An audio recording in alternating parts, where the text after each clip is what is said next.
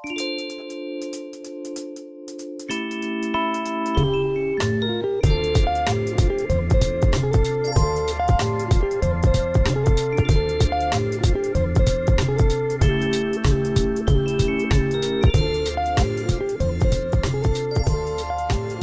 pues vamos a hablar de una huella distinta, la huella guarda que deja pues un paisano nuestro que se llama Jiménez de la Espada, que por supuesto muy bien conocéis vosotros